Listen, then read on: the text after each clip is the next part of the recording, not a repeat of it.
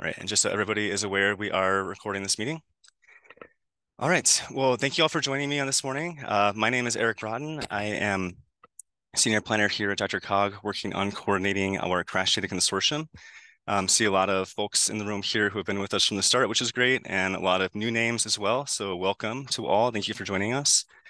I'm going to move us right along into our uh, agenda for the day. Um, I'm going to do a brief recap on our timeline for where we started at this project and where we're what we're looking at doing over the next several months. Um, then we're going to get an update on some crash data processing from our colleagues at the Department of Transportation. Uh, we'll get a tour of the inventory indicators dashboard from our colleague at the Department of Public Health and Environments. Um, my colleague here, DRCOG, Byron Schultz, will be giving um, walkthrough of the 2021 crash data product that we have, some updates that we have on our end, and an introduction to a project we are kicking off. And then finally, I will wrap us up with going over some updates to the needs assessment um, based on comments that we received at our last meeting and on the draft documents. Um, I went through all of the comments that we received and all the notes and transcripts we got from the workshops. And I'm really excited to share what we have um, consolidated with that and how that's come together. So again, a brief look at the timeline. So at this point, we are about a year and almost a year and a half into this project. Um, we have had three meetings, a kickoff last November, uh, meeting in May where we were joined by the Department of Transportation and Department of Revenue, and a meeting last fall where we went over the draft inventory and needs assessment and reached out for all of your um, commentary in this time, we did a number, a couple surveys. We did a lot of conversations with many of you and to learn about how you use crash data, what you use it for, the sources, um, what's working well, what is a challenge with it. And we did create these documents. They are currently still in processing. Um, I'm planning, I'm hoping to get those out to you all in the next couple of weeks. Um, they're finalized as far as the content goes, but we are just being really um, keen to be aware of accessibility concerns and we want to make sure that when we distribute these they're good to go and so they are our, my colleagues here in our communications and marketing have done a really great job to help me with the writing on it make it make it stronger make it clearer and with the accessibility and we're excited to get those out to you in the next couple of weeks um, today is the 29th of course our, our meeting here and so i'm glad that you're all here with us and as we look forward to the rest of the fiscal year, this we are operating on the federal fiscal year calendar. So through so that goes from October through September. So as we look towards the next several months, towards the end of this year in September, we're going to be working on really taking the needs we've come up together and developing and implementing solutions based off of that. Um, our grant was really looking at investigating and demonstrating the value of the Crash Data Consortium inventory needs of the region and working to solve common issues with crash data collection and, pro and processing. And so with that, we are, I'll, I'll, touch on that towards the end, but just to be brief, we'll move on here. Um, we'll probably have another meeting or two of this group. I think they've been really valuable. I, I, think that I've learned a lot from them, and I hope that all of you have as well. Um, so once we have some dates set for that, we'll be distributing that we are looking to do a sort of end of year survey as part of the project and wrapping it all up with at least some for this calendar year with a final report on what we've learned and again some of these some of these outcomes recommendations and next steps we can do as a region and as a consortium with that i'd really like to um, just invite um, our guests to to begin, um, we're joined today um, with Alyssa Heron and David Swenka of the Department of Transportation. And I'm going to go ahead and stop sharing my screen and let them take control. Cool. Can everybody hear me okay? I'm trying a new headphone situation, which is always pretty risky for a meeting. Um, cool. Uh, let's see. Cool. And screen is sharing. Awesome. All right. Well, uh, oops. Uh, good morning, everybody. My name is Alyssa Heron. I am a traffic safety analyst over at CDOT. Um, I work under my manager, David Swenka, in the traffic programs or safety programs data and analysis unit. Um, we're going to do just a quick update today, looking at um, CDOT's crash data, what's available, looking at the dashboard, um, the crash data website updates, and uh, a little bit more about uh, data accessibility, and then some quick updates about uh, BEST. Um, so first up, uh, anybody can request data through the Colorado Open Records Act. Um, on our website, uh, you can just search CDOT Cora um, and it will pop up. You can click on this link here and it'll take you to um, a uh, form where you can submit uh, Im- submit a request for information. Um, it says up there that there may be a fee uh, assessed for a records request, but 99.99% of them do not incur a fee. Um, these are really great for the public, uh, specifically looking for smaller data sets. Like, um, you know, I want to know how many crashes happened at this particular intersection over the last five years. Um, they're great for people who don't necessarily have the data literacy to work with um, larger data sets. Um, and we uh, we take uh, we take a bunch of these per week. I'd say at least a few dozen a week. Um, so it's definitely something that we're very used to. Um, other than that, we have the crash data available on our website all the way back to 2007. Um, we do have data dictionaries for both of these. And of course, if anybody here has any questions about this data, you are more than welcome to reach out to me about it. Um, I'll have Dave drop in my uh, email address because I actually it's in here at the end, so he doesn't have to worry about it.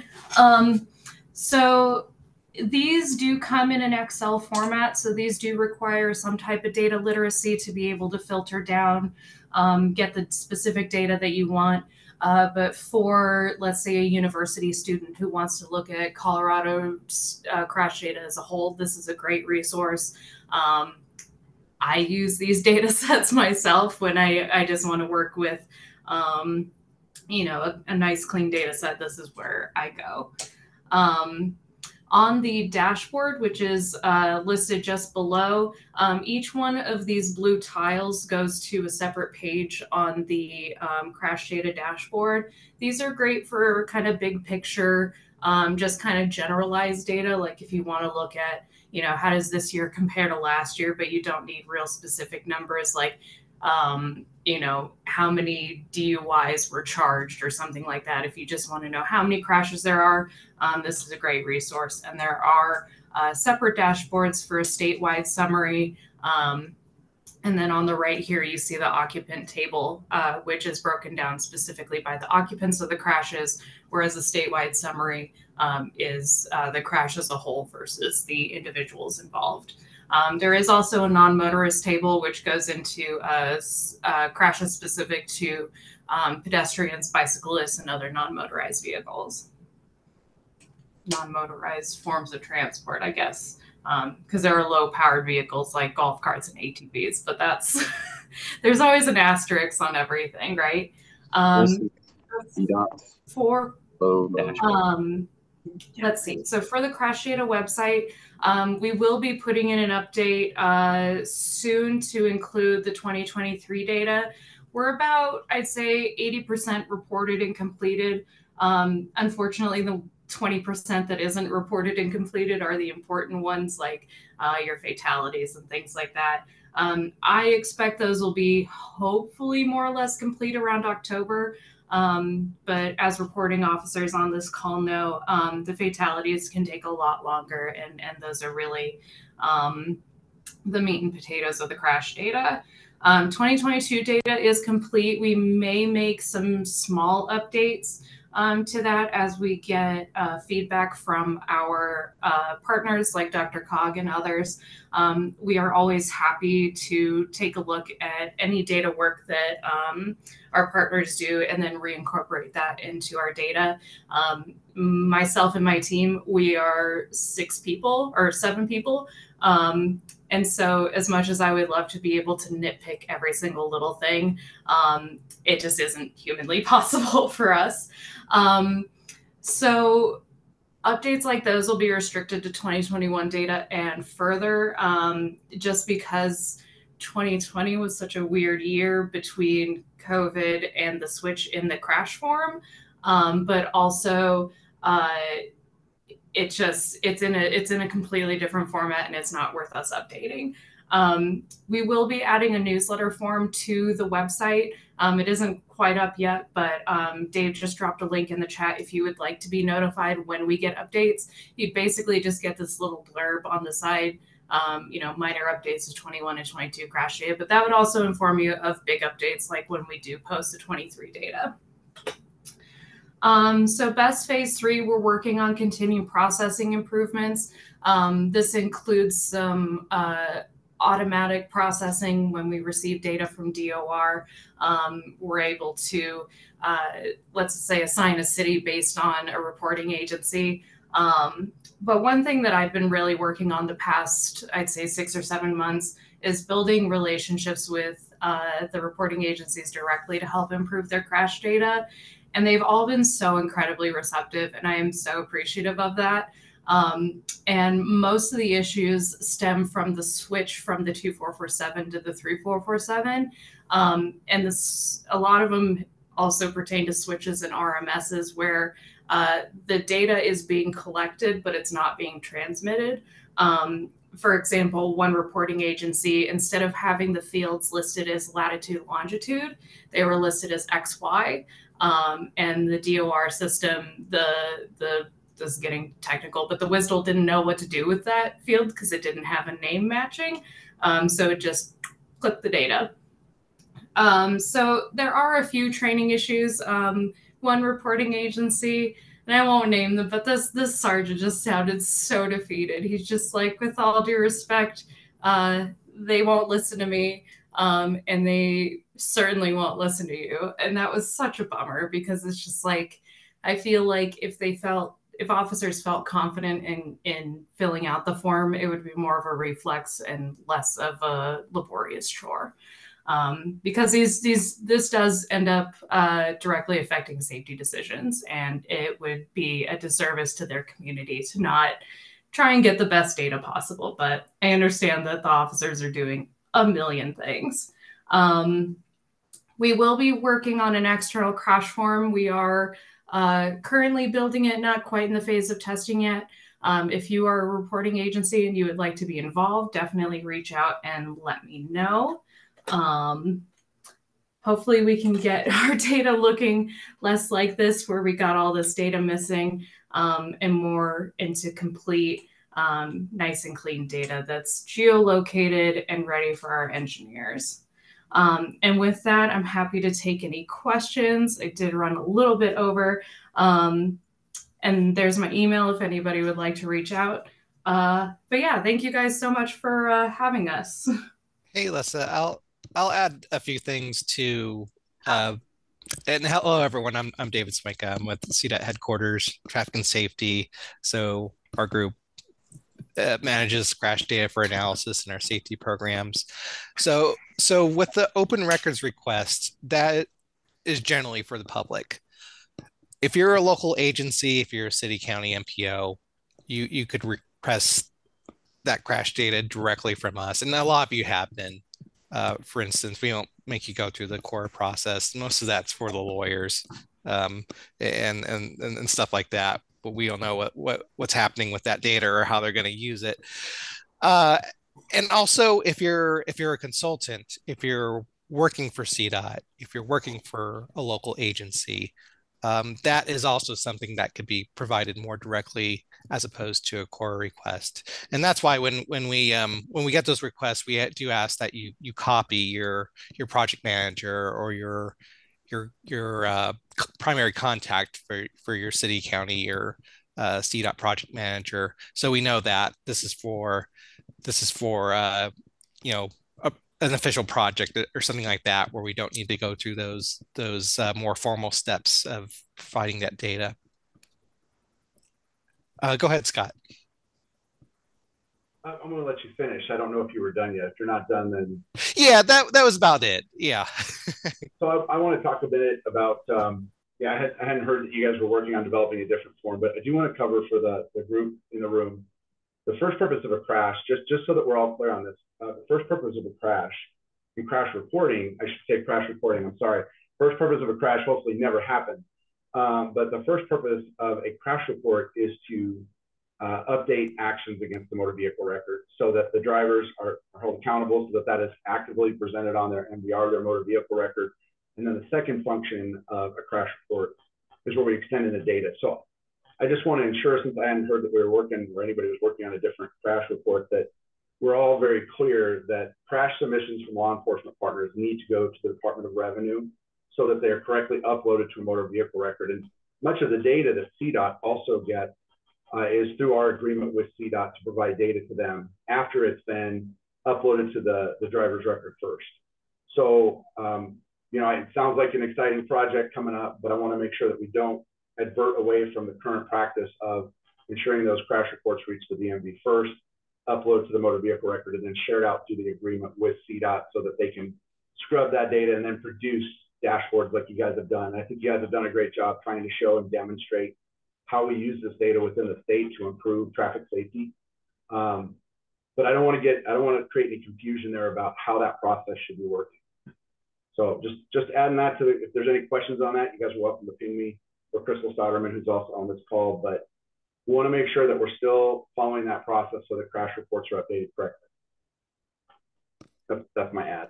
I'll shut up. Yeah, thanks, Sky. I appreciate that. Yeah, and and that kind of details what uh, Alyssa was showing with some of the data elements aren't entirely uniform or complete, and uh, a lot of our efforts are in our group are made to kind of fill in those gaps. So what information we provide is is is more useful to uh, most of us here who are looking for that information for reporting or for for analysis uh, to help improve safety across the state. And um, and that's the part that takes time. Actually, the trans you know from from crash to submission of the crash to uh, DOR, that's that's been relatively uh, pretty quick uh, of late. You know, some some crashes will take longer than others. Some agencies will take a little bit more time than others, but it's it's usually, you know, as quickly as days to, to weeks on on average. But it's the it's the post processing that's the part that takes a little bit of time, and we're trying to trim that or find ways of making sure that data gets to uh, the stakeholders in, in as good a shape as possible, but not perfect. Uh, and that's a lot of the efforts that we're working on right now. And we'll take it. We'll take some more questions if there are some. Uh, I do see one in the chat here, David. Um, Ted Hyde asking, will these slides be shared out after the session? Um, I can say that for the DRCOG slides, certainly we could provide that. Um, but I don't want to speak for, for you or Ian and, and Melissa. So yeah, let's we'll, we'll send you our, our slides so you could distribute it out to the group. Okay. Hey, Alyssa and Dave, I had a question about um, how updates um, might be communicated. I, I just signed up for the newsletter, so thank you for providing providing that. But I'm wondering um, when those notices come in, in terms of maybe data has been updated, how will users be able to know how the data has been manipulated so that they can go into their their data and and correct those um, those edits? Is there going to be um, at least summary information of like maybe what changed or would it be at the record level? Just curious about how how that feedback is going to work. Unfortunately, we and and this has definitely been a pain point for myself too. There is no way for us to have like a before and after snapshot of the data. Um, so there's no way for us to know what a record looked like when it came into us versus after processing or after you, know you guys returned data to us. Um, so there really is no way for us to like, uh, you know, we could say, um, you know, updated GPS data for, you know, whatever region, um, you know, let's say Arapahoe County, but we wouldn't be able to say like records one, two, three, and four, five, six were updated. We like we wouldn't be able to have that kind of resolution, which is unfortunate. Yeah, I, I agree with the specifics. We wouldn't tell us like, oh, we changed the the lat long or the location or or the direction. Uh, but each crash record has a date stamp of when it was last updated. Um, so there there is that. There is the when. Um, but those others, yeah, we we'd have to sort that out on what's the best way to communicate that with uh, the, the elements we have in our database. Okay, I, I think that that's helpful just to have a summary of, of maybe what you know has changed, but also Dave, like you just said, the the date stamp of when it was last edited would be super helpful for data analysts because then it's easy to pull apart that and then just do find and replace for you know for those records. So I think I think that's helpful. Thank you.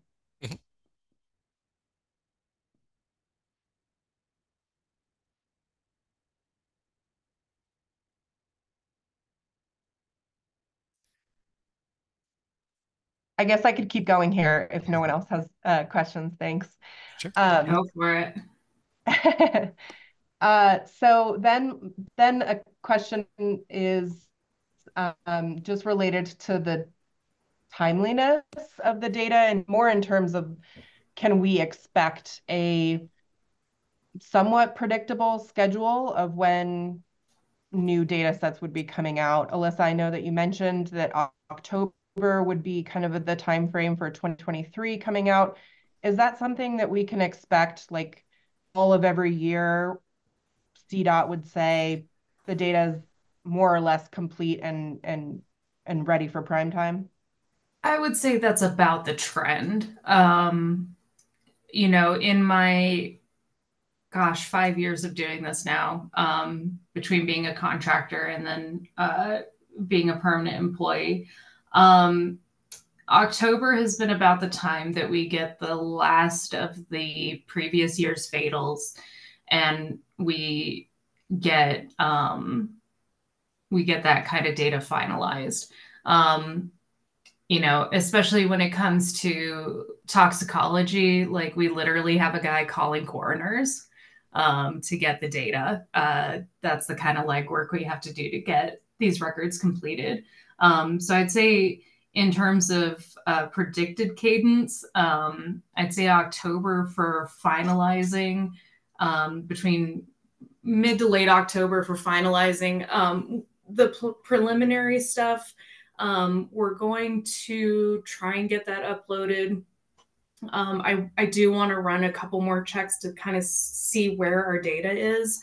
Um, but looking at the crash data dashboard, like comparing to the previous years in terms of numbers, it looks like we're mostly reported for 2023. Um, you know, electronic data transmission is certainly to thank for that.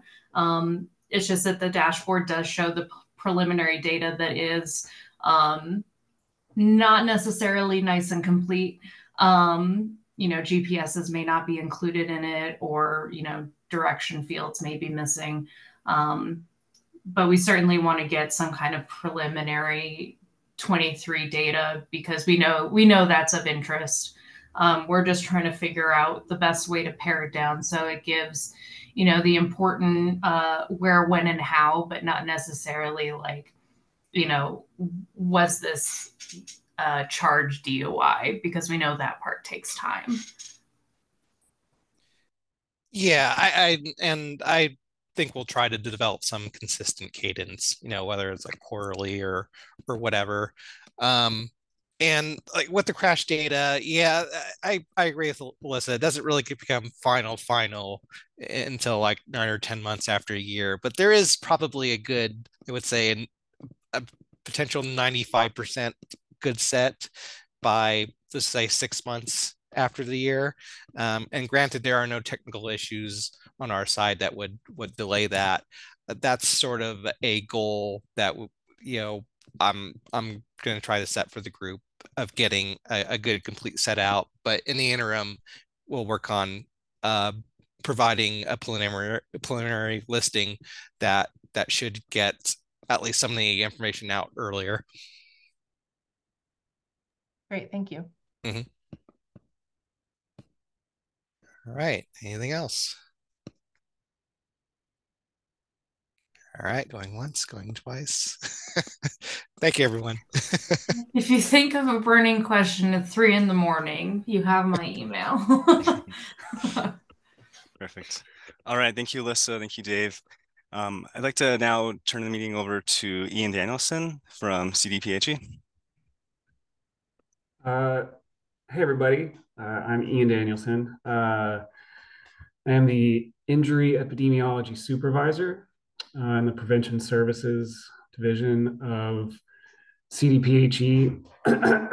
and, uh, you know, we work with CDOT um, with some crash data and doing some kind of behavioral analyses with that data, but we also work with um, some injury data uh, that we get from a couple different sources, uh, our Vital Stats program and our Colorado Hospital Association.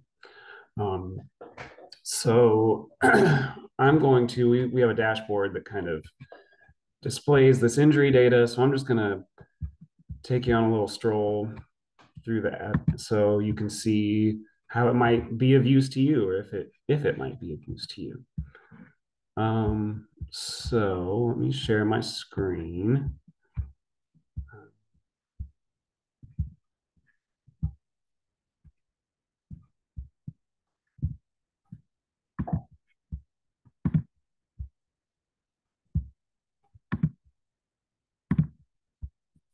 Go.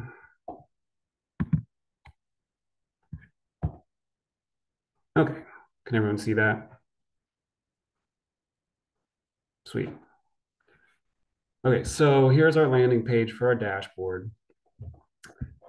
So here we have a choice of where to go. We can either look at deaths or hospital discharges and ED visits. So um,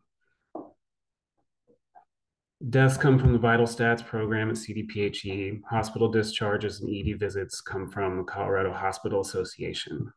Um, and for each of these, we can look at either counts, so exactly how many injuries happened in a given of a given type in a given area, rates, which essentially are how many injuries uh, per 100,000 people happened, and then age adjusted rates, which allow you to account for differences in injuries that might be due to different age distributions in an underlying population versus actual differences um, in injury risk. So that would be very important if you were looking at comparing a couple different counties uh, for something like falls, and because that tends to happen uh, with our older adults more than with our younger adults, that we get fall injuries. So we would want to account for differences in average age in each county if we were trying to make direct comparisons there. So let's look at some let's look at some hospital discharges. I'm going to go to crude rates here. And all this information is contained uh, at the bottom of the dashboard. We have, um, you can see here, we have a little question mark that will take you to an informational PDF. You can uh, read a much better, um, much more well-written version of what I'm saying if you want to do that on your own time. Um, so here's what the dashboard looks like. Uh, right now we're looking at emergency department visits. Um, I'm going to switch us over to hospital discharges using this little drop down menu here. There we go. So basically, um, a couple things before I walk you through all the toggles we've got here. Um, our unit of analysis here is going to be hospital discharges, not individuals. So this could be one person that was discharged from the hospital multiple times. So keep that in mind if you're trying to interpret this data. Um, also, uh, there are the data sets from emergency department visits to hospitalizations to deaths are mutually exclusive. So if a healthcare event is included in one of those data sets. It is not included in the others. So ED visits are people that went to the emergency department and were not admitted to the hospital. And hospitalizations were people that went to the hospital, were admitted and did not die there. Um, deaths are just people who died. Um, so those categories are mutually exclusive, but the categories in our injury drop down here are not.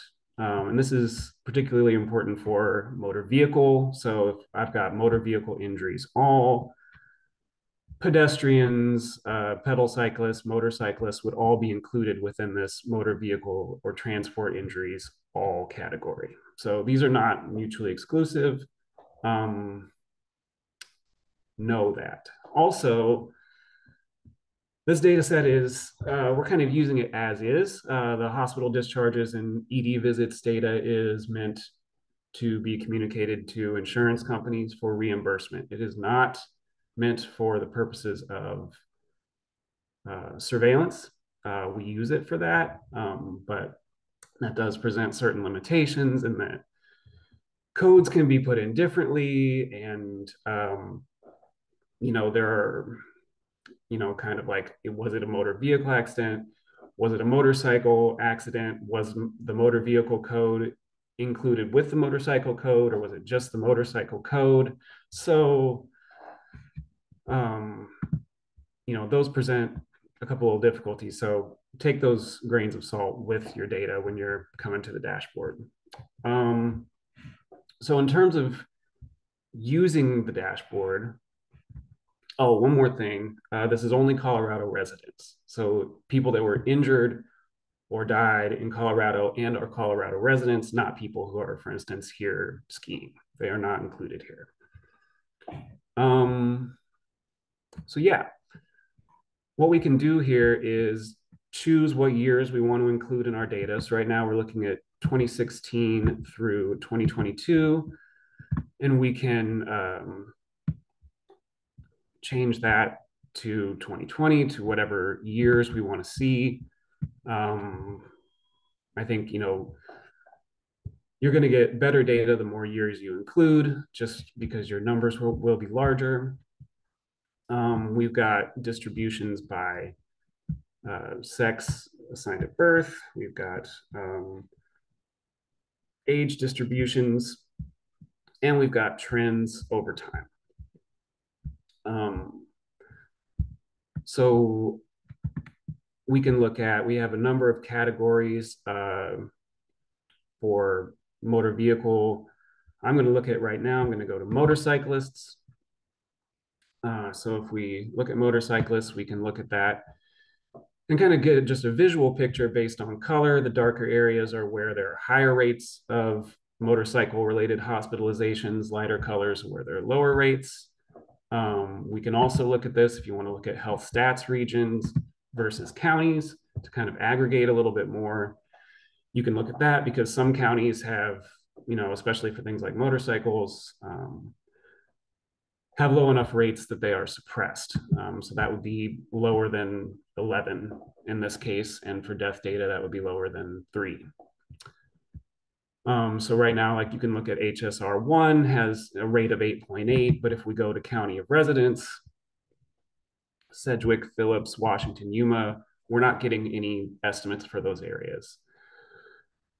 Um, so when we look at these places, we can also kind of, uh, we can look at, you know, motorcycle accidents tend to be mostly males. Uh, they kind of peak at 25 through 34 years and at 45 through 54 years.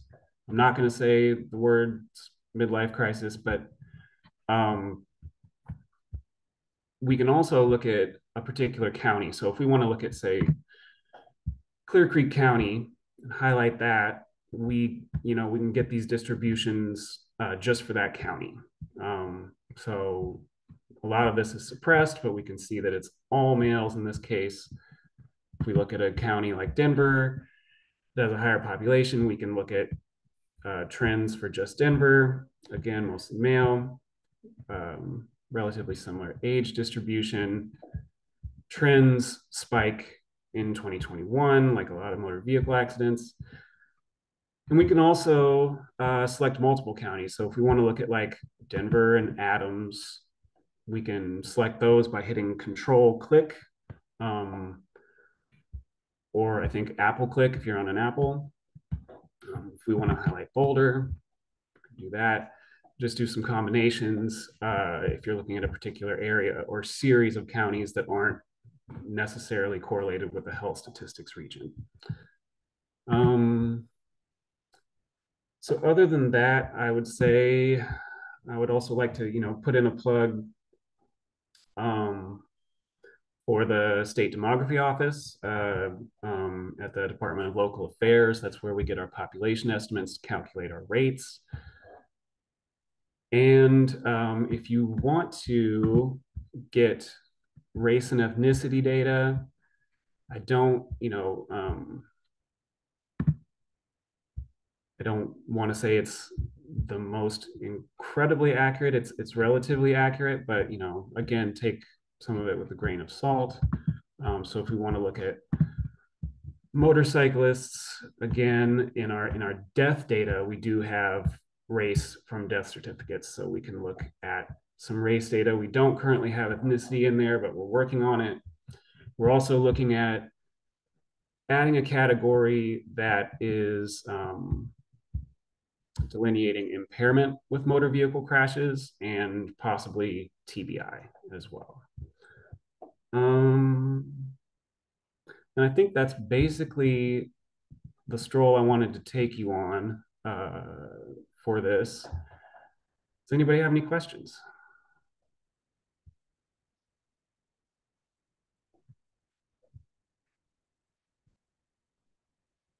Uh, Kenneth. I, I can't hear you, Kenneth. There we go. There you go.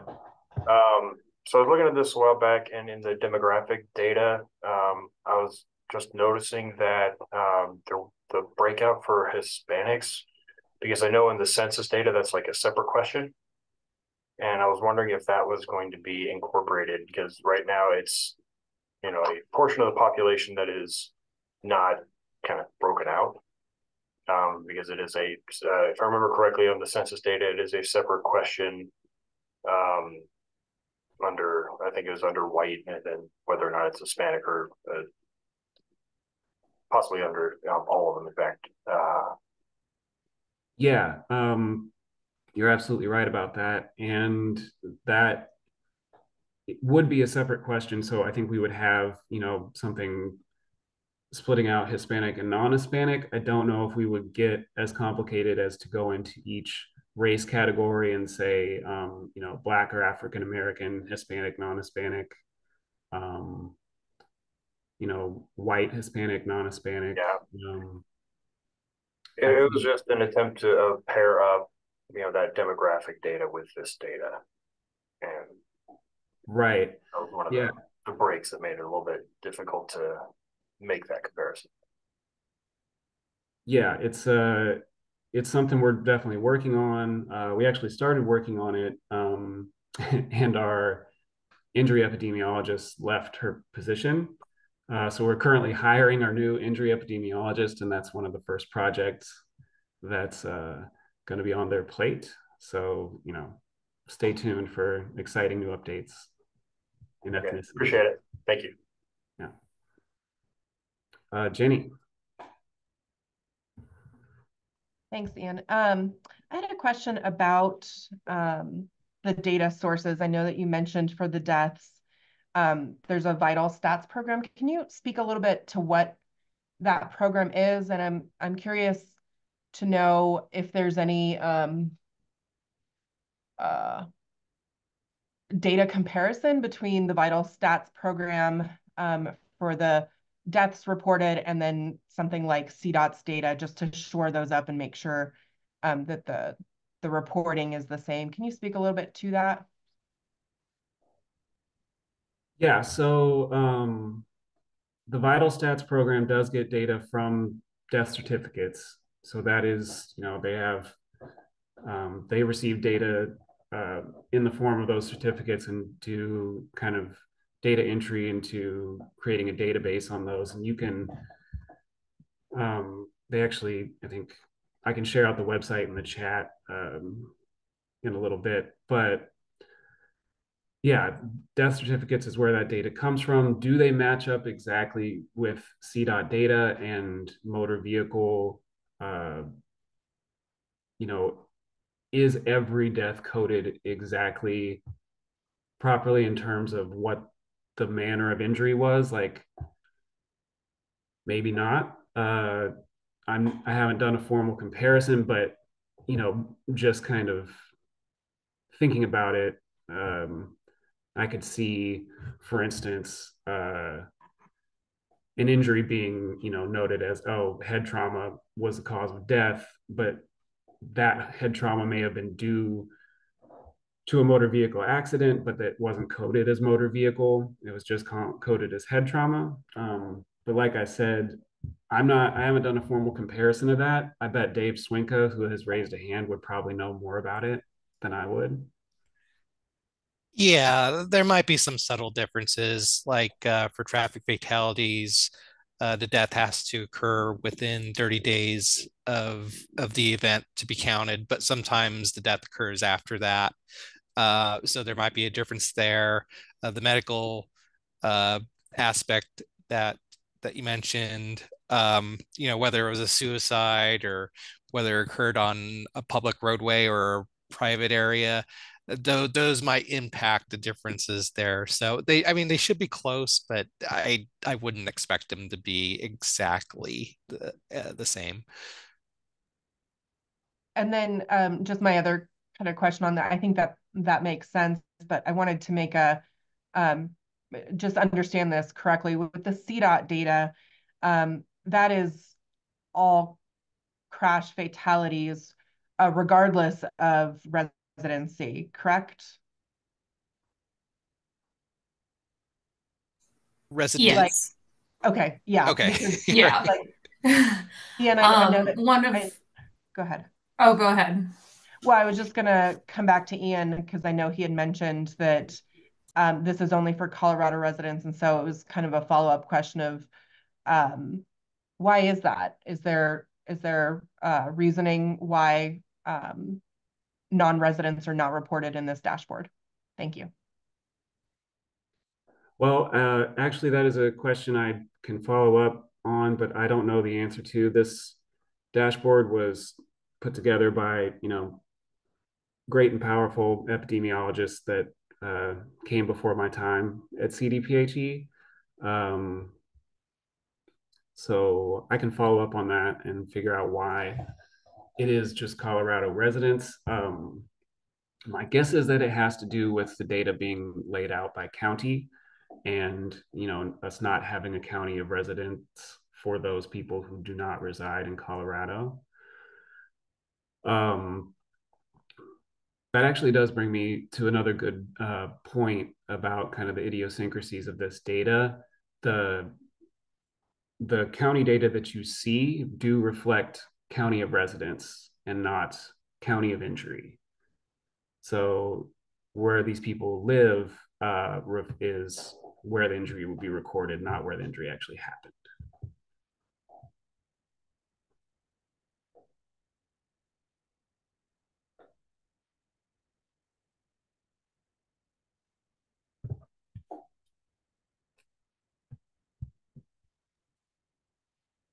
Um, I have a quick question, if I can jump in. Um, so I think this is a really great tool to um, maybe be a, kind of a starting off point about seeing what sort of injuries or, or deaths might be occurring, um, even with the limitations that you've described. Um, I think it's still useful. Is there, because because I know some of our stakeholders have expressed um, an under underreporting of certain types of crashes. I know I've personally seen someone on a bike get hit by a car and then didn't seem too injured. They both went their separate ways. And that's one of the examples we hear about where maybe this person then does feel after the adrenaline wears off, they report to a hospital or um, emergency department. Um, that that doesn't no crash report is created. It doesn't go into the system. There's no record at the intersection now. Um, I don't think this can help solve that problem, but um, I think maybe this can be a good tool for some folks to be able to kind of identify maybe maybe maybe some areas where that things like that might happen. If that if someone does find maybe their county or their um, whatever the the health statistics area is, are they able to they be able to reach out to you or someone else at CDPHE for more detailed information, or is is just kind of the, the rates um, the best you're able to give out potentially for like confidentiality reasons?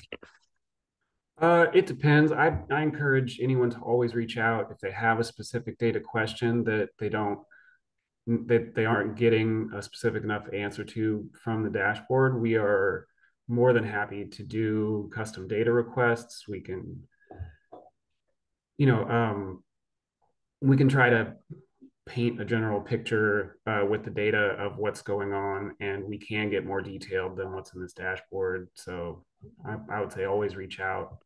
Um, and I'll put my email in the chat um, as we, you know, go on with the meeting. And there's also down at the bottom here, um, you can go to this little box, click to provide feedback or report an error. You can send a message through that as well, like, hey, I have a question about this, um, and I'll reply. Or when we have our injury epidemiologist hired, they will reply and uh, see what we can do for you. Okay, great. Uh, do any more questions for Ian?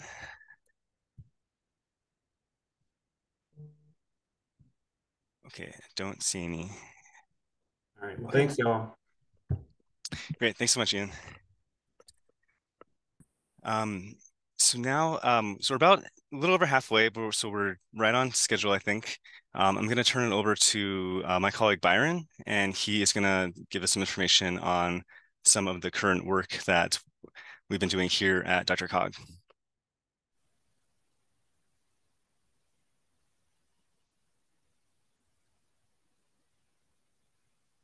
Can't hear you, Byron.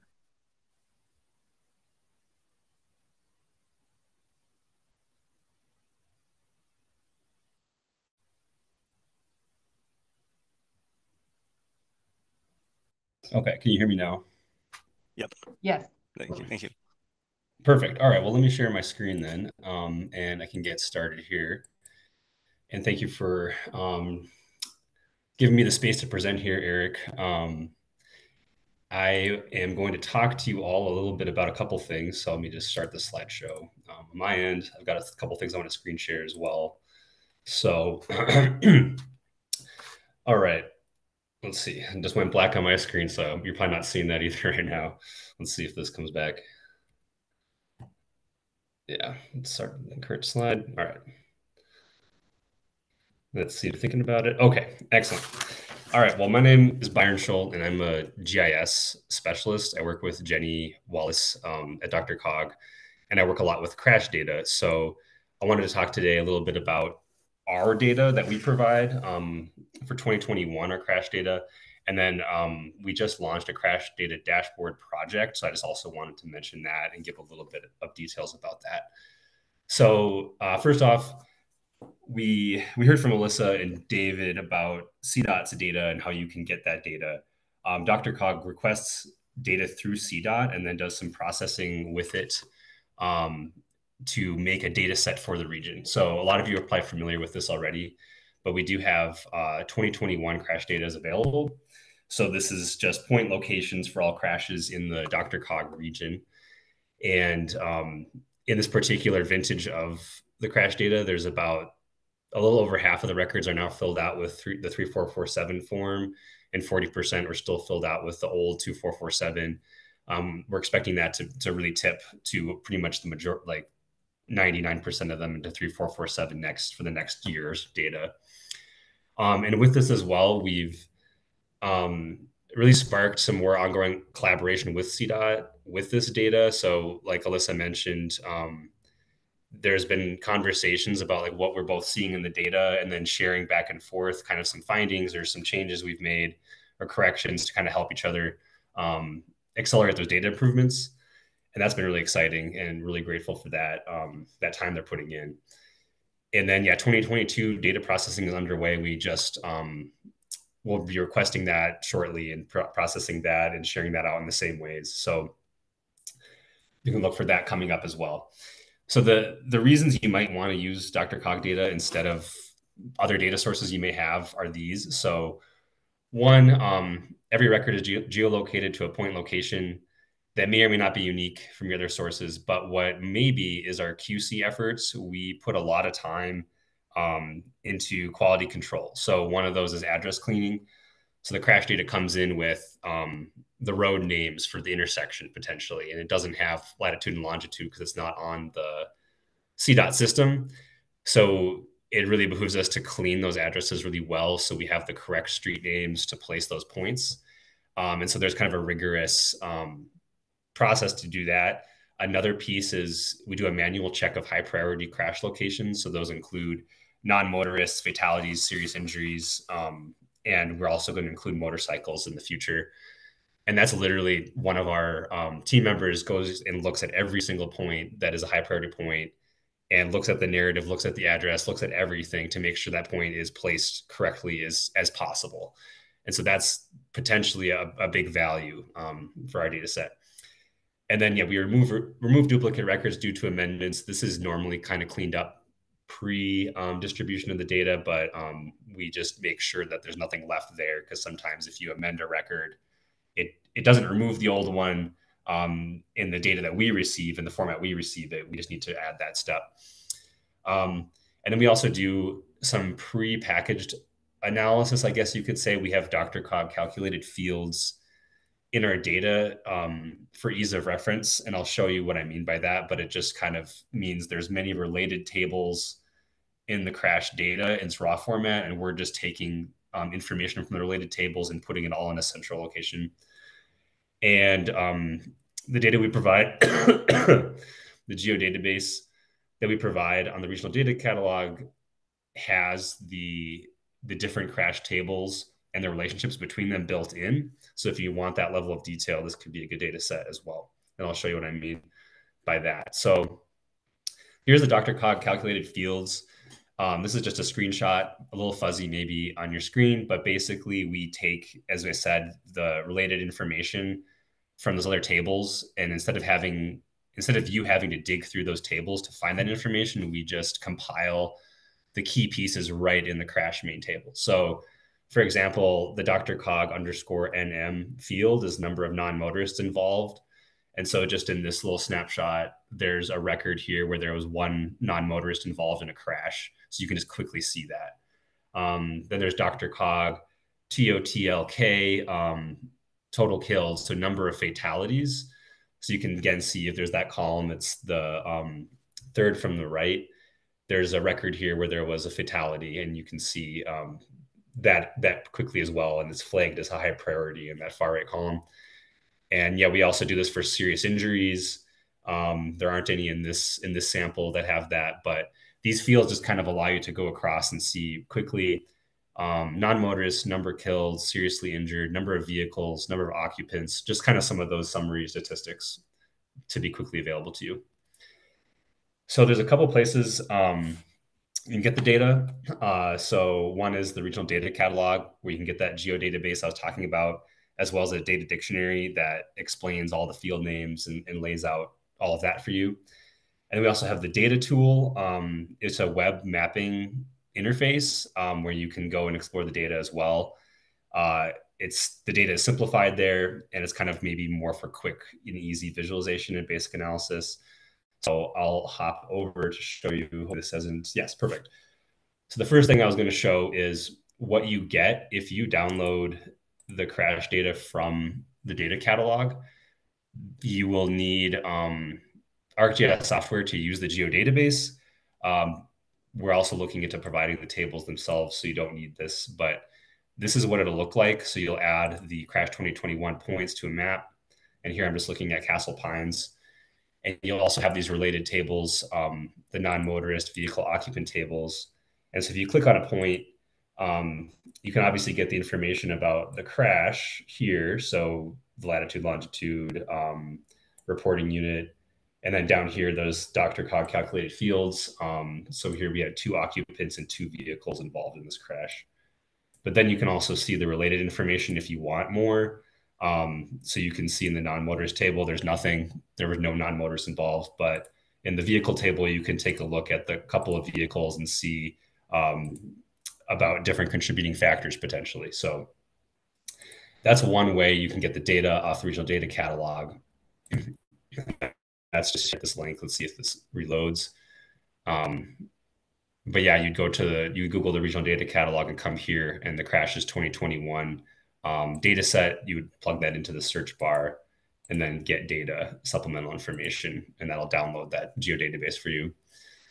And then here's the data tool. So um, this is just that web mapping um, interface where you can see on the right here, there's a lot of different layers, but one of them is the crashes layer. And so you can choose to turn that on and visualize it. Um, and here, red is a fatality. But what you can do here is not only see the different points and kind of you click on them and get some information about, um, you know, what what kind of crash this was or what happened or what who was involved. But you can also do some quick analysis. So if you were doing a project on Hampton Avenue here, and let's say the limits go from uh, Yosemite Street over here to Dayton Street, you could draw a quick line um, and you can change this buffer so it's a little bit narrower. And you can get some some statistics on the crashes that occur along that project route. So here's here's the couple fatalities that have happened. There's one here, I think, and one at that intersection. How many serious injuries and how many non-serious injuries, non-fatality crashes. And you can also look at this broken down by the the user type. So um, crashes with bikes or pedestrians involved. And this, if this takes a while, I can just tell you the result was there was one um, bike involved crash at this intersection and one pedestrian involved crash at that intersection.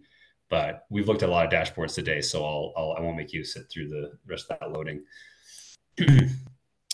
so um, those are the ways you can access it, and those are kind of the the things that differentiate the data um, and why you might find it useful. So I will stop there. I'm going to talk about the dashboard project next, next but I'll stop there and, and see if there are any questions first about the, the data.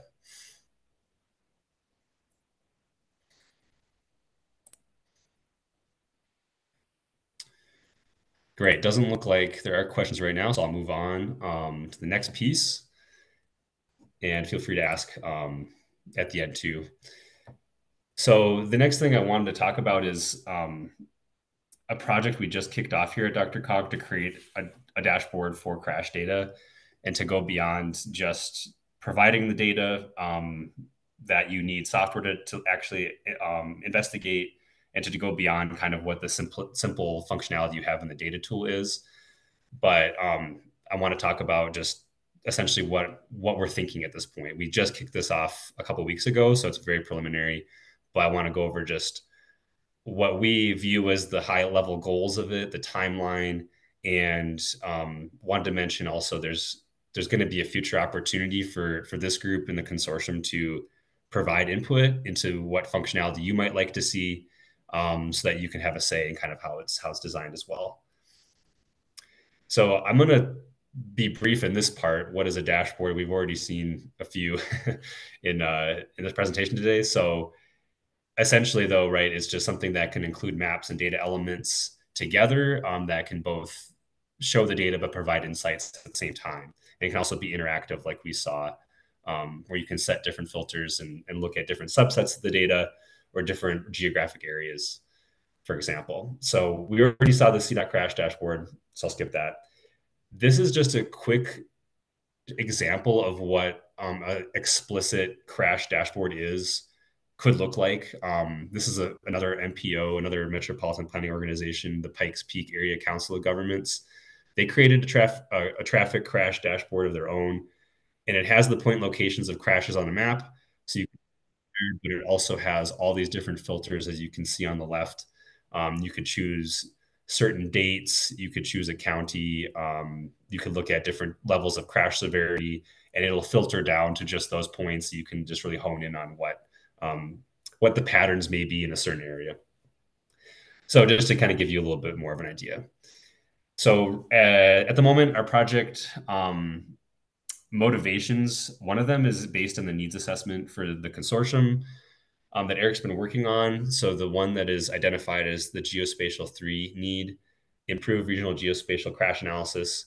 We want to respond to that. Um, and also the, the expressed desire from this group for more regional tools and prepackaged analysis. So it's, it's, it's kind of at your fingertips more rather than you needing to have the capacity and the software and all those things to delve in the dashboard can be like more accessible to people to have a digestible and quick way of doing that. Also of course there's a growing safety crisis so we want we want tools that can help address that. Um, and at this moment um, with all of the discussions we've been having lately with the crash consortium DRCOG capacity has grown um, to the point where we have more data expertise and more ability to do this kind of analysis and, and development. So we're excited to bring the benefits of that to um, the region and so the objectives again just kind of providing more um, easier access into insights from the complex crash data, provide um, a central location for regional crash statistics so that people can kind of rely on one source if they need quick stats on like the fatalities in their municipality or along a corridor. And um, of course, we want to further the action for Regional Vision Zero, um, our DRCOG program here. So anything we can do to keep up momentum on that is, would be great.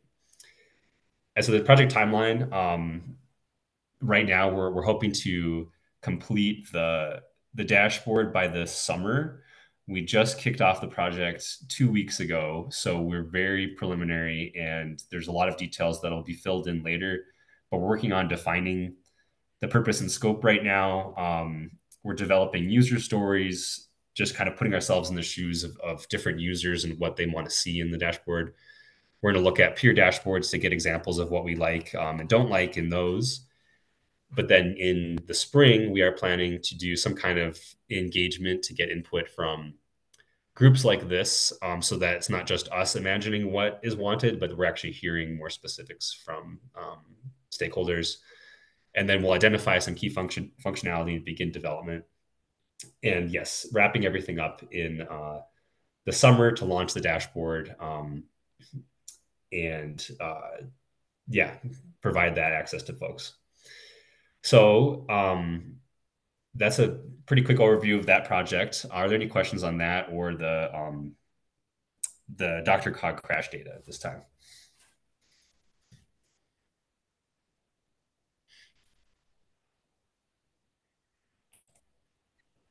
Hi, Byron. I do see a question from, um, from Jessica Jackson about is the Pikes Peak Area Council Governments dashboard live that you had referenced earlier?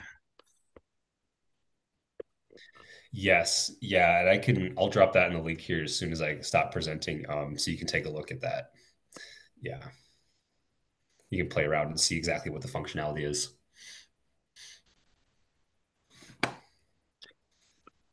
And another question coming in, um, Josh from Josh Sender, in Adams County. When you say geocoded to a point, is that point always located on a road? It is not always located on a road at this time. We are working on that. Right now, there are points that have latitude and longitude that um, we just we just take from the raw data and place it. And if it's not high priority, we're not we're not going to move that point. And sometimes they are maybe like five, ten feet off of the road line. Um, so no, at this time, not every point is is exactly on the road network. Um, sometimes that may be the truth, like the the crash happened because someone went off road, but we are working on um, integrating our crash data into CDOT's LRS um, data set, so that will um, be snapping the points to actual intersections or onto a place on the road. Um, Kenneth. So when you say that um, you're taking the, the GIS coordinates from the raw data, um, are you are you vetting that against like the description of the, the crash location, um, or taking that as as read? Um, I've just sometimes seen where that latitude and longitude is the location of the officer, not necessarily the location of the crash. So just wondering if you're. I can speak to that if you guys like. Yeah, um, in terms of the raw data. Um, so it really varies depending on the reporting agency. For example, uh, Denver PD, their GPS coordinates are given by dispatch. Uh, so if they say a crash happened at I-25 in Alameda, but the crash actually happened half a mile north, uh, they don't actually have the capacity to change the GPS coordinate. Um, so it is up to my team to hopefully catch it. Um, certainly for on-system crashes, we we do generally catch those and try to match them to uh, the mile point, um, and certainly to the narrative. Uh, there are, uh, I'd say, about mm, 20 to 30 percent of crashes that are correct and simple enough that our system can figure it out. An example being two vehicles going northbound hit each other front to rear, and the contact, like, it, it can figure out that it's a rear end. Um, we don't necessarily uh, screen every single one of those, especially if they're off system and non injury crashes, um, just because we don't have the capacity to do that. Um, in those cases, uh, we've had uh, officers uh, fill out a crash report at home. And so the GPS will be on a house or in the middle of a mountain, or, uh, you know, the negative will be on the wrong value and it'll be, you know, in South America somewhere. Um, so there's definitely a variety in the GPS reporting. Um, but between us and, and our partners at DRCOG and other um, agencies, you know, we definitely do the best we can with what we're given. Yeah, I think thanks, Alyssa. and to kind of add to like what we do, Kenneth, um, given what we get from CDOT, all they've done already, we do check. sorry, we do check those high priority locations manually one by one. So if we see a a, a serious injury crash and our analyst goes and sees that the points in a parking lot, the, the officer may have filled out that form in the parking lot. But the narrative describes it as a as an intersection a mile away. She will move that point to that intersection. So we don't do it for every single point. Um, there's going to be points out there that are not high priority in our definition that will um, still have potentially that erroneous latitude and longitude but for the high priority ones we we do as best we can to to move those if there's still a need after we get it from cdot okay. All right good to know. Um i guess one other sideline just this was brought up uh, for the group at large. Sometimes it uh it'd be really good to know those things that you see with the data and like the different jurisdictions and what like uh what alyssa was saying with denver that being assigned by dispatch uh, for those of us using the data, like sometimes we have no idea what uh, what those little quirks are. Um, so if there's a way to communicate that um, uh, in some capacity through this uh, project, that might be really useful in and of itself. Just knowing that, hey, here's what to look for the, when you're looking at a specific area. Um, like in this case, you know, uh, knowing uh, whether or not it was vetted because it, you know, it's not a high priority location you know, just knowing that, hey, if you're looking at a specific corridor, whether or not it was in that high priority location, so we know um, if we're pulling that data that, yeah, we need to maybe, you know, review that GPS coordinate and location pair because, you know, it since it's not in a high priority location, it may not have been individually reviewed. Knowing that when reviewing that would be really useful, um, as well as maybe some of these other idiosyncrasies that you can really only know if you're directly involved with those agencies somehow. I I don't have an answer to that one, though. Sorry. No, yeah, I can speak to that. Um, yeah, that's one thing that we've been trying to discern. Um, we've had a lot of really great conversations with law enforcement over the last, um, of course, this, of course, this project, and uh, especially since this fall. Um, I had the opportunity to present at the Colorado Association of Chiefs of Police back in November, and was able to network with a few different um, departments at that that meeting. Um, in the inventory, we do I do have um, a chart that lists the different law enforcement agencies that we've learned we've had communication with and learned from in this process. And I try to list that out if whatever method that they're recording latitude and longitude, um, if they are recording latitude and longitude, how they capture it.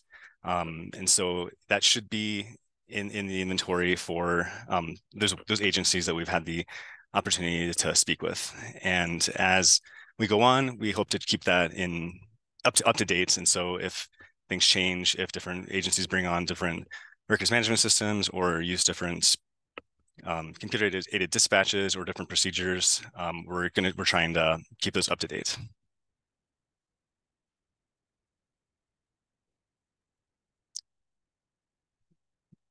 And I will just add, my camera. Um, I'll just add from the DRCOG side. Um, when you download the uh, the data from our regional data catalog, it does come with data dictionaries, and we have a, a brief sort of crash data guide that mostly walks through um, those table joins, but something that we can take back and improve on is maybe a little bit more information about how we process the data and include that. So um, Kenneth, to your point, we can certainly do better in terms of communicating what those high priority records um, are and and the process that we go through to to QC them. So we'll take that back and, and work on it. Yeah, we can certainly accommodate something like that as well. Um, maybe not to the point of the uh, maybe gently, like some of the idiosyncrasies with the different agencies. Um, it's been a lot of legwork to even diagnose them, and I'm hoping to fix most of them eventually. Um, so even keeping track of that process um, has been tricky for myself, but um, we can certainly, you know, discuss things like high priority crashes and things like that because we certainly take that into account too.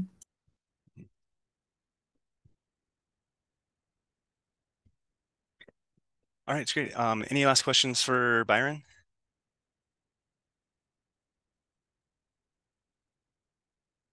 Okay, cool. I'm not seeing any. All right, thank you so much, Byron. Really appreciate you going over all that. All right, we're almost done. We have 15 minutes left. I don't have too much more to go over, but a couple important things I want to touch on. Um, so let me just go ahead and share my screen again. Um, as I said, I did look at all of the comments that we received on the draft inventory and draft needs assessment, as well as the notes that uh, my colleagues took during the workshops. And based off of that and just some more thinking and refining, I have gone through and done a few changes to those needs assessments. Um, first of all, I simplified uh, a number of them. I think we went down from about 24 23 or 24 to 17. Um, and really just noticed some of them were pretty similar. Um, some of them kind of just sounded quite like one another. Um, and lumped some of those together into one need with a couple, call outs to the different subcomponents of those. Um, so two of the needs about different education were they really seemed to be more of different strategies that apply to other needs, and so that was kind of a private, providing and coordinating training, um, improving standard and processes. They're not really they didn't really seem after some further review to be needs in themselves, but ways to further other ones. Um, one other need that we did add though, um, which in a way kind of furthers other needs, but seemed um, full enough on its own, was one looking at emphasizing um, increasing the number of completedness in the records. Um, so we felt that that was something that kind of stood on its own as something with the comments received, we also changed the priority of several needs. Um, we heard from some governments that the data integration, um, it was listed as uh, low need, change that to a medium priority. Um, and that's kind of agencies that are looking to try to bring in potentially toxicology information, um, information from law enforcement beyond the report, um, or through or through the criminal justice process that can add more context to it. Um, there's a lot of some agencies that spend a great deal of effort on that, and so we wanted to call that out as something that is important. Um, this developing regional processing analysis or mapping, um, that was another, it was listed as low, but again, based on comments, we brought that up to a medium, and that's something we've kicked off here, and we'll be sharing out more information as we have it on how we can, how y'all can participate in that. And then finally, when I change um, this greater transparency in kind of sharing out information processes. I actually changed it from medium to low Um, not because it's not important, but because I actually think we're doing a really great job of that already as a group. Um, I know we have a lot of conversations here, DRCOG, um, with CDOT, with other um, stakeholders, and of course they're here today um, talking with us. Last year we had CDOT as well as representative from the Department of Revenue join us. And so again, I think we're already doing a really great job of that. We want to keep going with it, but I, I think that's that's something we can actually um, look on and celebrate. I'm just going to really briefly touch on these. Um, again, just combined a couple things because some of them were pretty similar, increasing the number of records with latitude, longitude, increasing the number of records in the CDOT with it.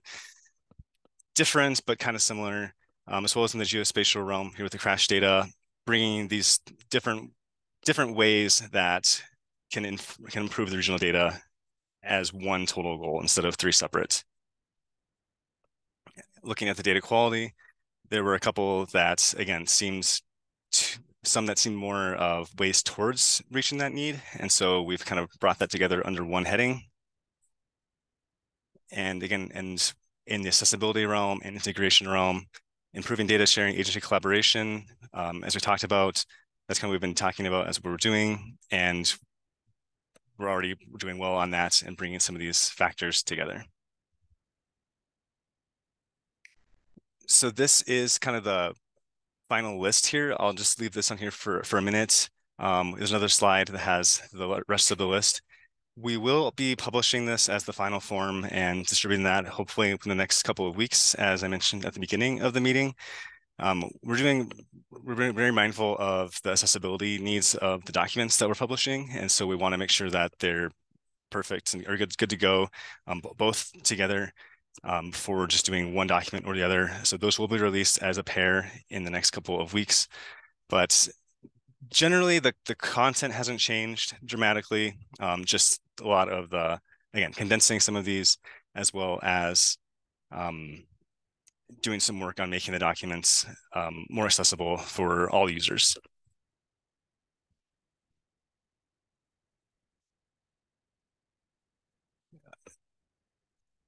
I'm saying that one sec. Um, some of these did stay the same though. I just want to highlight a few. Um, Sorry, the, oh, yes, Jenny. Sorry, really quickly. Um, are you needing oh. to share your screen? Yes, I am. I'm sorry.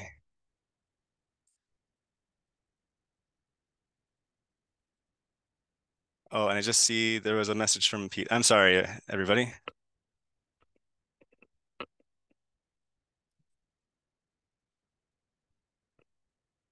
All right, so I'll just leave it here for another second. So since y'all can, so you can actually see it, I apologize again. Um, this is the first of eight, eight, eight of the needs here. Um, and also kind of readjusting, making a few changes to the unique, unique identifiers um, to make them a little more readable for everybody. Um, just looking at the ID, the actual need itself, and our priority level. as well as we have our the remainder of the ones that we've identified and kind of pared down from that longer list to this hopefully more manageable list for the group to work off of.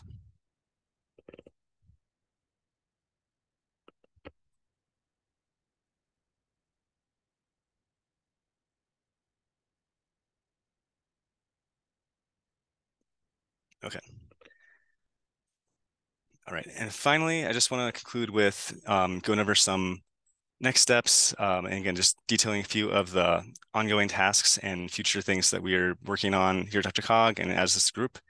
Um, like I just said, we will be um, sending out those totally finalized and remediated um, inventory needs assessments um, within the next couple of weeks. Just want to highlight some of the work that um, is already going on in the region that we're a part of and that stakeholders are part of, including the Statewide Traffic Records Advisory Committee um, Crash Manual Task Force. Um, I know this has been a really, really, um, we've learned a lot through this process and been really happy to be able to contribute what we've heard from stakeholders to this group.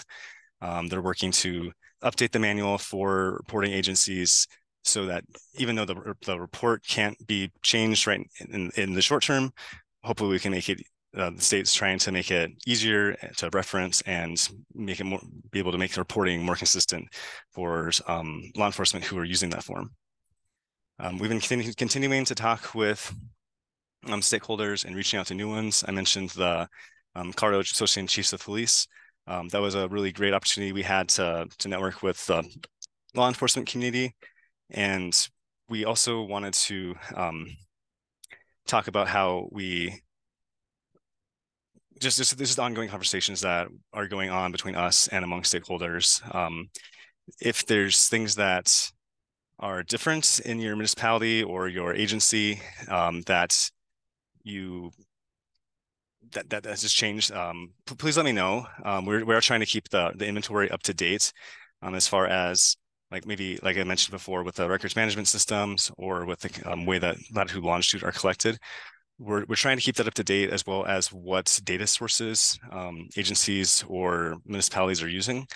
Uh, I know, for example, there were a couple of um, local governments who are um, who applied for 405c funding um, recently to get some of their their own records geocoded, and that's something that we we want to be partnered with them just to talk talk through and understand, um, not in a way to oppose. We're not we weren't interested in doing that, but just wanting to make sure that we have this resource. It's been created. It's been vetted with the stakeholder feedback. Um, if there are changes to data sources or procedures, um, just request that you please just let us know or talk to us about it first, just so we're all on the same page as we use this paperwork to go, these documents to work on these goals. Um, last thing I want to mention on this is we have been working on building out the linear referencing system. Um, Byron mentioned it briefly in his presentation. Um, that's something that has been a part of our, our grant from the beginning, um, looking at um, integrating at least 25% of our records to a linear referencing system. And we're making really good progress on that. Um, thanks to um, Byron and our other colleague, Josh. They've done a tremendous amount of work on um, with, with me and Jenny on getting this all together, but they've been doing a really amazing job. And so we're really appreciative for everything they've done there and think that can really help bring the level of analysis to a whole nother level. And then as we just finally want to finish up on some of these next steps, um, on the, um, in the language of the grant, it really talks about um, developing outcomes, recommendations, and next steps to address the primary goal. And our primary goal is really to investigate and demonstrate the value of this group um, and work to solve, and as a region, work to solve common issues with crash data collection, processing, analysis. And so in the needs assessment, um, if you've seen the if you've seen the draft versions, there are some potential strategies laid out, potential um, resources and organizations that could help affect those, and potential barriers we've identified. We are going to continue to work on refining those, developing more, um, more, more, again, more of the strategies, resources, and barriers, as well as I'm trying to form, I'm working on forming some specific goals and targets based on these assessments. It's a little bit tricky as some of the, the input, the, the, data is not easily quantifiable. Um, as um, Alyssa and David were talking about not having a good way in, in, the system currently to look back on what records have changed or what's changed between them. So getting a baseline on some of these is a little bit of a challenge, but it's something that I'm looking into currently, and we can um, uh, definitely bring that out. If anyone has ideas on on these, um, please reach out to me. I just want to touch on, um, we're doing more research on the data collection, the methodologies, policy, and technology. I think our we did a lot of law enforcement outreach. I think it's been really, really um, important and useful for us to understand how this is all coming together and working together as these different um, entities. As it's not just planners and engineers who are using this data. Um, there's fire departments, there's health agencies, there's um, planner, there's um, safety advocates, so we're all definitely in this together. So I'm glad to see so many folks represented today. And then lastly, on this page, working also to kind of brainstorm some different structure and some different roles for this consortium. Um, I think we've learned a lot and it's been really useful and just trying to think of some ways that as as we go forward over the next five six months um, towards the end of the fiscal year um, ways that we can really leverage the, the collective strengths of the different organizations. I want to touch on just a couple of um, brief things that DRCOG has been doing in the realm of traffic safety, traffic um, records. Um, Emily, are, are you still uh, available today?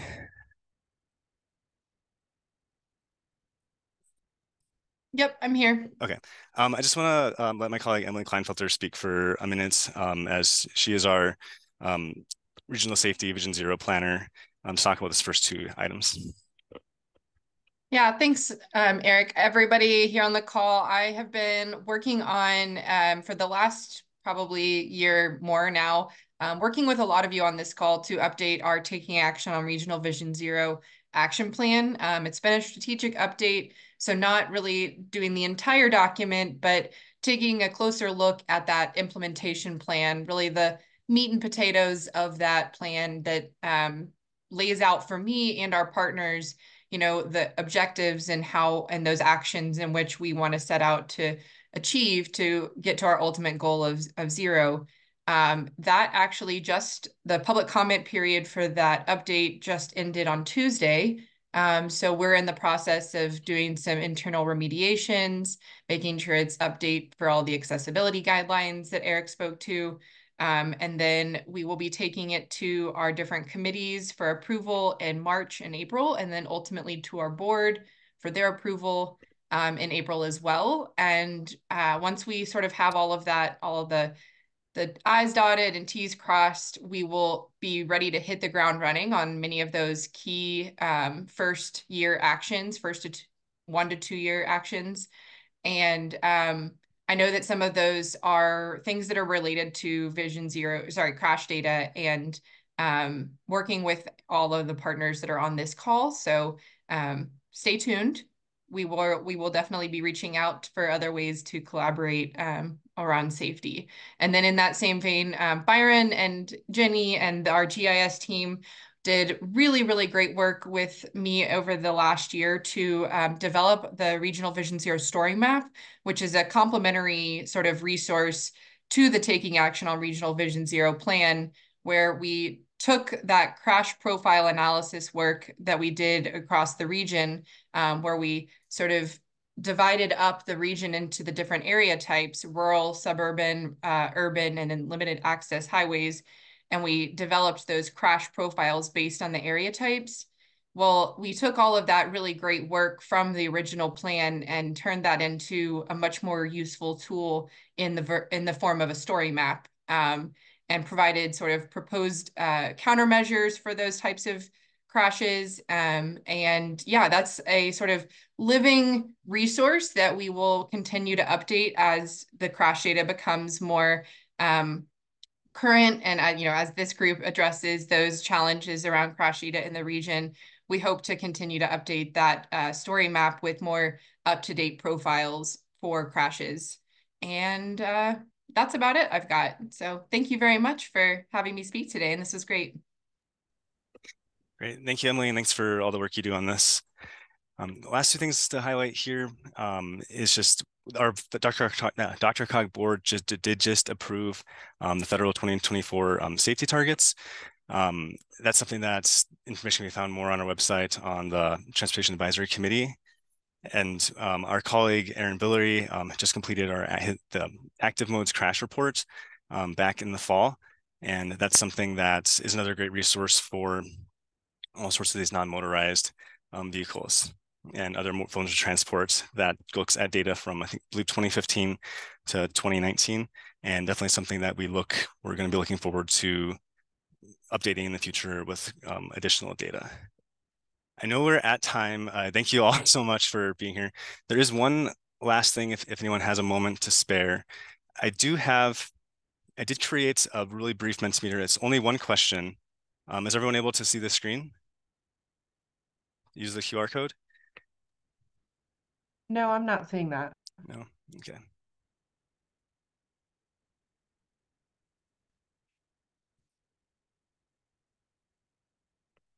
All right.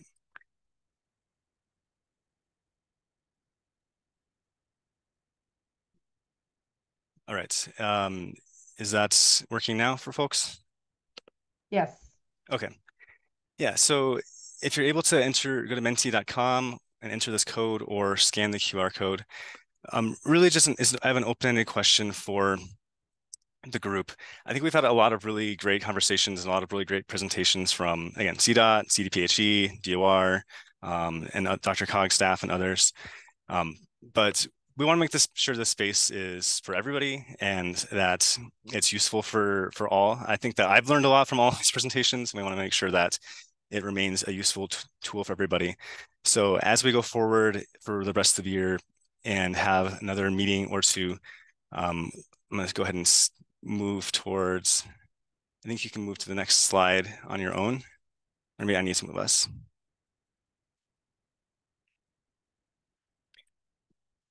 But really just, yeah, what kind of content or um, other topics would you like to see at future future meetings? So maybe in a couple of months when we have another one. Um, and this also could apply to our newsletter. It, we've had some great guest articles, um, including one from Chief Newbanks of the city of Mead or town of Mead. So if there's things that you'd like us to address or you'd like to present on potentially or share an article, um, just go ahead and drop drop it into the the Mentimeter and we will be able to, um, to, to look into that. And of course, reach out to me if you have any questions or, or, or potentially want to be, be able to share something like that.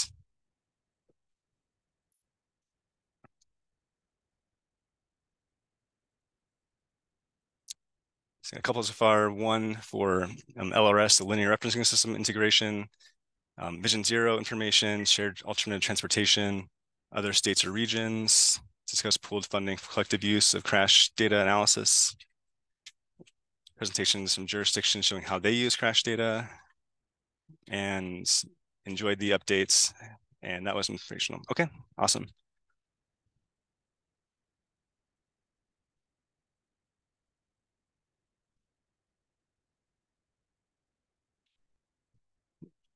connecting Otis, which is state data, to the 344 reporting and top items in crash form get cleaned.